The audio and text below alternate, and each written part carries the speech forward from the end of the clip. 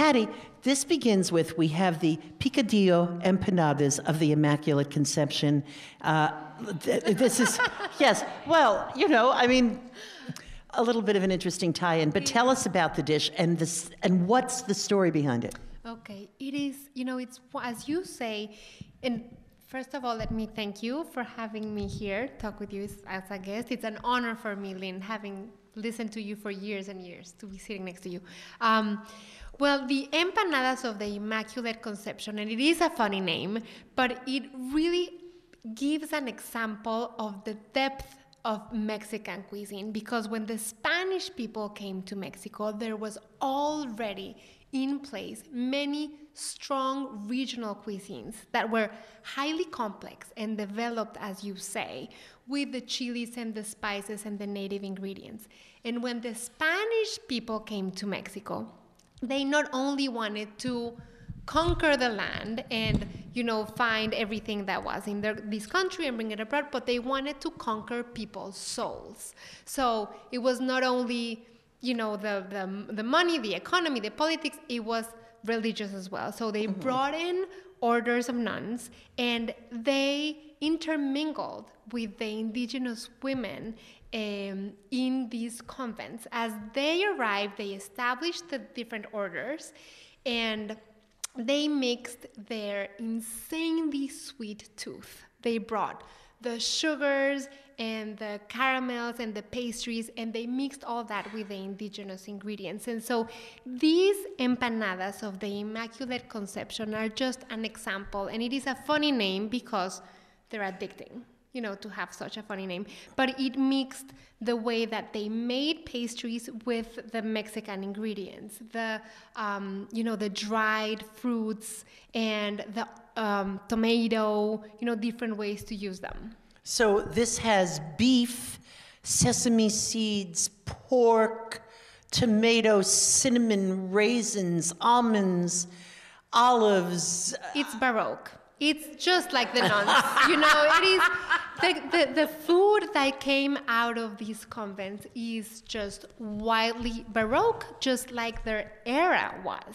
And you know, Mexican food was already complex, but the nuns just found a way to make it a little bit more complex because they could. And it was, for nuns, it was not only the magic of coming to this land, and suddenly they were in the convents with not only Mexican society was highly, um, you know, it has it had deep lines in the hierarchy. So in these convents, they had indigenous girls working in the kitchen doing the corn and the tortillas. Yes. And they had the daughters and the nieces of Aztec emperors. You know, so it was cohabiting with these different levels of the indigenous society and the intensity of these nuns that couldn't marry and so they put all of the passion into cooking and so that's why you get into these names like the immaculate conception and the titles of the the names of the desserts especially you know they're called nuns sighs and hugs from heaven and there's one that's called Kiss Me Please. I mean, it's. and this is interesting because as I was going through some of this material, I was thinking about you see this in the Mediterranean, the work I did in Italy. You would see so many of the sweets, the very fancy things would come out of convents as well. And there would be things like the breasts of St. Barbara, who unfortunately was martyred. And there would be things like. Um, to be kind, the rear anatomy of the bishop and uh, the and whatever. But we were talking on the phone. This is a complete aside, but I can't resist it. And I was saying to Pati, you've got to talk about, you know, where do these come from? And, and, and is there a tradition in Mexico of convent food? And she said, oh, yes. And I said, you know, I remember being at this museum in Santa Fe, and the director there was telling me she had just gotten a book from Mexico that was done on the food of the convents. And there were, and, and, and it had beautiful pictures. Do you know it? And you practically leapt through the phone. Tell the story because yeah, here it I is. I have it. We have it. Yes, we have the book. What do you mean I have it? yeah, no, it is fabulous, and it has. And and Lynne asked me to brought it because it is really just a marvel to see. It's a piece of art. It has gorgeous photos.